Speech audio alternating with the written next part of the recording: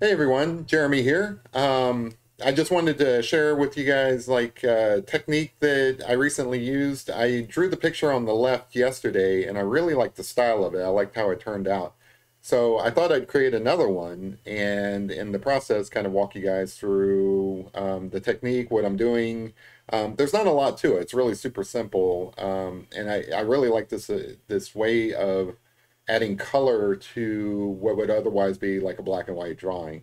Um, so as you can see, uh, what I'm doing is I'm just kind of adding kind of an underpainting uh, behind the charcoal picture directly to the paper. Uh, I'm using Canson uh, mixed media paper here, so it works really well for accepting like wet media as well as drawings.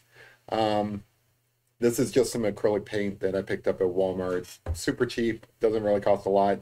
Um, but yeah, so like uh, it's an easy way to add color to a picture. And as you can see, the, the, the type of painting I'm doing here is very loose. I'm not even mixing the colors very well, uh, just because I kind of want some of that blue to come through with the yellow. Obviously, I want it to be green.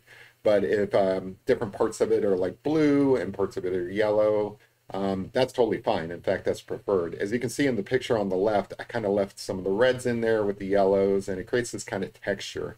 And I'm also not going out of my way to kind of blend in the uh, paint. Um, I'm, I'm actually uh, adding streaks of yellow here because I know that that's going to be the highlighted area of the face. I, I already have in my mind uh, what kind of a portrait uh, I'm going to be doing here. But um, yeah, so like parts of it I leave, um, you know, like really light and parts of it I make kind of dark just to kind of really um, reinforce some of the elements that I'm going to be doing in the drawing part of it. And of course, I'm just like cheating here and uh, like blow drying it so that I don't have to wait forever. Um, yeah, so like the, that kind of speeds things up as well. But so the reason why I started doing this is I was kind of getting a little bored with just my black and white drawings that I had been doing, and I didn't really want to introduce a lot of color. Like I didn't want to make like a full color drawing, um, but I did want to kind of punch it up a little bit and create this mood that you wouldn't normally get with like just black and white. So um, I had seen other people do this, and I'm, I'm like, oh, okay, mixing acrylic with uh, charcoal, yeah, that'll work. Uh, let me let me give that a shot. And I really liked how it turned out. It, it it actually gives a texture to the paper that's really nice for drawing that wasn't already there in the paper itself. I don't know if it's just because there's like more texture from the paintbrush um, on the paper, if acrylic itself is just really good for drawing charcoal uh, on or what's the deal there but i really liked it. It was it, it was noticeably different from just drawing in paper. So the actual process for drawing pictures if you haven't heard me talk before um, is i kind of use this like relational um, uh, way of uh, like sketching out the picture and finding out where everything's going to be kind of like a proportional measurement I start with like just some feature in the face and I kind of build everything off of that. So um, I usually start with like the, the larger objects and kind of move down into like smaller shapes and, and details. But um, typically when doing a portrait, I kind of figure out the frame of the face. So like, you know, what what different parts might make the edges of the uh, face. And then from those edges, I kind of build in where I think the the eyes might be, the nose, the lips, the ears, um, the hair. Um, and I always keep it kind of like light at first um, until I kind of figure out where everything is going to be. And then once I kind of feel a little more comfortable uh, where all the different facial features are, then I come in and kind of darken things up and add more shadows and so on. So as you can see, that's kind of what I'm doing here. I'm trying to figure out where the light might be based off of that yellow streak that I had put in in the underpainting. Um, that's kind of my um, waypoint for figuring out where the highlights are going to be of the face. So based on that, I'm able to kind of sketch in some of the other details and, and figure out where things are. Um, but again, like I said, the, for some reason, the the paint on the paper just creates this like uh, really great drawing surface. Um, it, it's a lot different than just uh, drawing in charcoal on paper.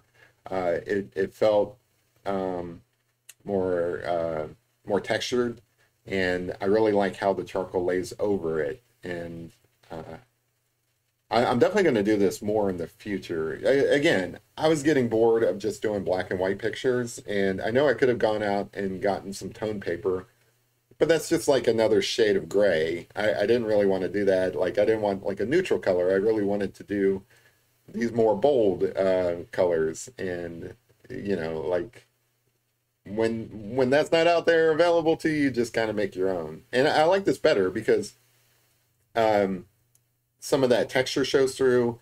The variations in color show through. You're not going to find that in tone paper.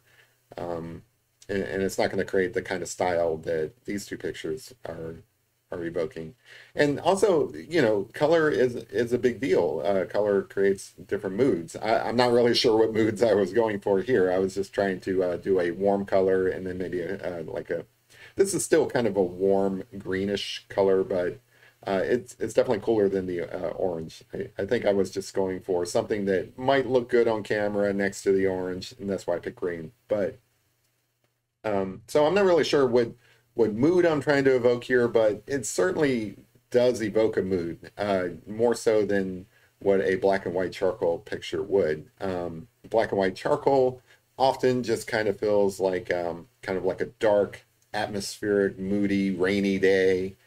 I feel like there's a lot more um, story here uh, by introducing color. Like the one on the left, I can uh, easily imagine being like a uh, like a morning morning sun coming through the uh, the window or something like that. The one on the right, I'm not really sure. I you know it's green. I can't I can't figure out if she's out in nature or if this is just like um, you know maybe at night or something and uh, light from a neon sign or something is reflecting off of her. I'll let you guys decide. You guys can make up whatever story you want. But the point is, introducing color gives it that different dimension and um, really, uh, really allows you to tell more story than you could with just a simple black and white. So um, what I'm spraying on here is actually uh, acetone. It's it's basically nail polish remover, and what that does is it kind of creates an additional layer of um, texture. It kind of creates this blotting, uh, blotchiness, and I, I, really like that. I did that in the first one, and I liked how it made some areas of it uh, get this new texture. So I, I, I, did that in this portrait as well. The other uh, side benefit is it kind of locks that charcoal into the paper um, which is great because it, it's basically it, it's not going to do the same job as Fixant uh, does. Um, Fixant's kind of like permanent and like really locks your charcoal in.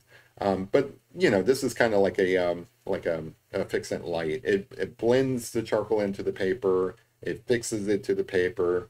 Um, you could probably run your hand over it and you're not going to get that much charcoal in your hand from it. But also it creates this kind of neat texture, which is what I was going for.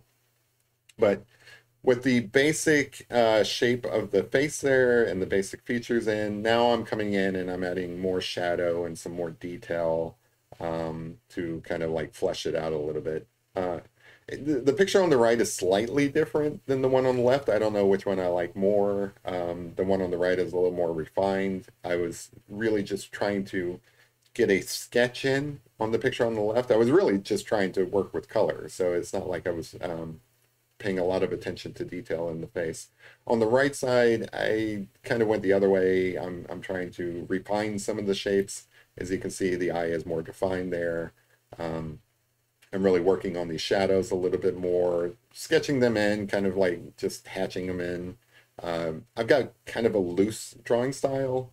Uh, one would say a bad drawing style, but that's fine. It, it, I'll take the criticism. I'm, I'm still learning and I'm still working on my uh, drawing technique, but um, I definitely favor um, style over uh, details. So like I, am not gonna sit there and draw every individual eyelash. I'm just gonna kind of like hatch in uh, like the impression of eyelashes. Same with the uh, the eyebrows here.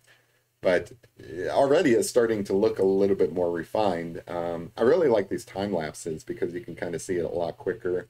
Than the entire drawing process. I think this took me about an hour to do uh, from painting, letting it dry, speeding it up with the uh, hair dryer, obviously. Um, but actually sketching in everything, it took me about an hour. It probably could could have gone a lot faster if I was like less concerned about making a, a really refined picture. So I would I would argue that this is a really really cool effect that anyone can do. As you can see, it's really simple. You just put in streaks of color behind your charcoal picture.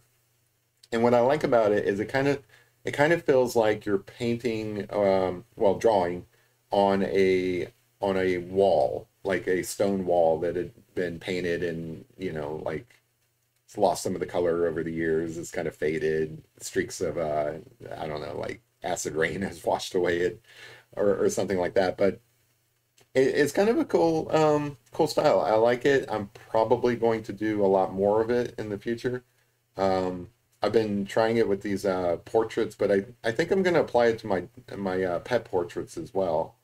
Uh, I think very soon I'm going to try to do a uh, dog portrait with some uh, background color um, as well.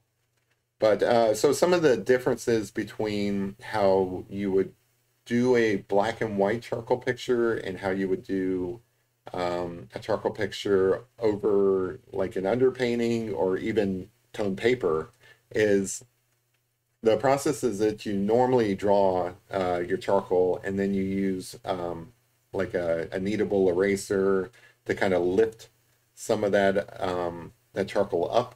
So you have your your heavy tone, uh, heavy shadows that you do really dark with the charcoal, and then it kind of moves into these like lighter tones that you know you're not applying so much charcoal, and then you use like a kneadable eraser to actually lift up the um, the charcoal to reveal highlights uh, because your paper is white. It, it works, right? Um, so the difference here is because you have tone paper, whether it's you know painted or otherwise, um, you come back in and you actually add your highlights with um, either either white charcoal or white pastel. It, it, doesn't even have to be white. Like I was looking at this um, after I was done, and I could have easily done these highlights in another color, like a um, like a pastel pencil of maybe yellow or um, maybe even a light blue or or something like that. There's a lot of flexibility there, but I, I went with the traditional white because I really liked how it looked in my picture I did ye- uh, yesterday. Um, so I was trying to see if I could consistently create uh, another picture of that type so I went with white. Um, here I've got this really small stubby uh, white charcoal pencil, um, but the one on the left I think I actually did with the um, the white uh, pastel stick, which I'll be using here in a moment because I think my the the lead on my pencil actually breaks off here. It, it's a terrible pencil. Like it's so soft that it, every time you sharpen it, uh, it breaks off, and then you end up with this little stubby pencil. But it is nice. It, it's a uh, it's kind of a soft white charcoal, so it works really well over the acrylic underpainting, and um, just adding these highlights really start to uh, redefine the uh, the drawing. Um, it, it, makes it softer. Um, it gives it this like level of finish that it wouldn't otherwise have. Uh, this is the type of stuff that I find difficult to uh, duplicate when I'm just working on white paper with charcoal. Um, I come in with the kneaded eraser and I can't get that kind of like level of detail on the highlights that I can. there, there's where my uh, pencil lead broke. And uh, I think, yeah, I switched to uh, using a stick of uh, white pastel instead. But anyway, I couldn't get this level of detail working with a kneadable eraser. I know that you can get like a fine eraser.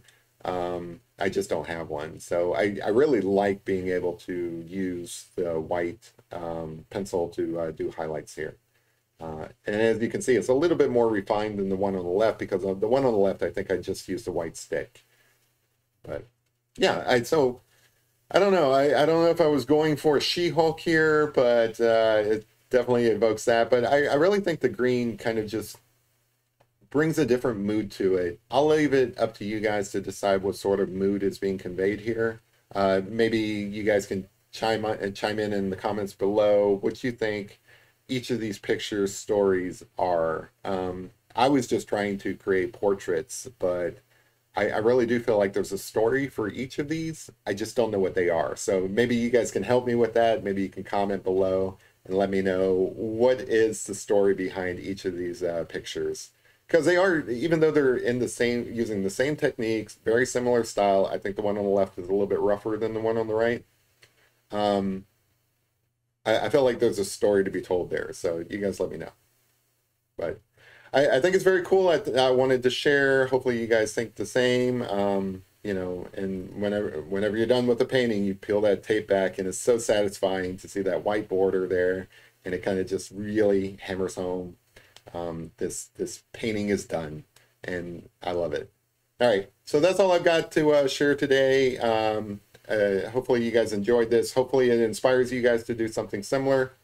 Again, if you go and look at my black and white charcoal pictures and compare it to these um, these colored pictures, it's like apples and oranges. I really do feel strongly that um, this type of technique for adding color to an otherwise boring black and white uh, charcoal picture. Uh, and there's no reason why it has to be acrylics. It could be watercolor. It could be whatever paint of your choice, whatever color of your choice. Uh, but, you know, try try color. It, it definitely uh, takes your picture to a, a whole nother level. So anyway, that's all I've got for today. Uh, hopefully, you guys enjoyed this. If you liked it, uh, be sure to uh, like, and if you're not already subscribed, be sure to subscribe so that I can create more content like this, bring it to you in the future. I'm going to try to do more educational, um, uh, instructional videos like this. Uh, whenever I come across a technique that I enjoy, I'm going to share it with you guys. So hopefully you guys like this one. Hopefully inspires you guys to uh, do one of your own. So if you do, make sure you share it with me so so that I know that um, you know something I did was uh, helpful. So until next time, have a good one. Bye.